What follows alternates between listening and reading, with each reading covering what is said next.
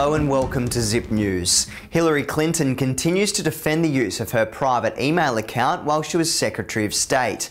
On Saturday, the Democratic presidential hopeful denied claims from Inspector General Charles McCullough that at least four emails from the private account contained classified information, leaving it open to hacking. Clinton is the frontrunner for the Democratic nomination, but a recent poll revealed the majority of voters find her untrustworthy, a problem surely exacerbated by the email controversy.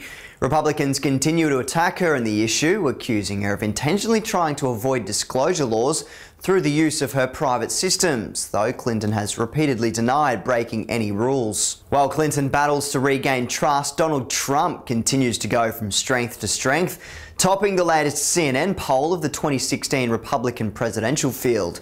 Despite a number of vulgar and controversial statements since announcing his candidacy, Trump was backed by 18% of Republicans in the poll, ahead of previous frontrunner Jeb Bush on 15%.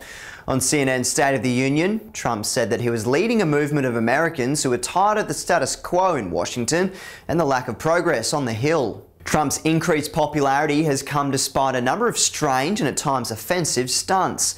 Last week, he gave out the personal phone number of fellow Republican hopeful Senator Lindsey Graham, which followed on from distasteful remarks about Mexican immigrants.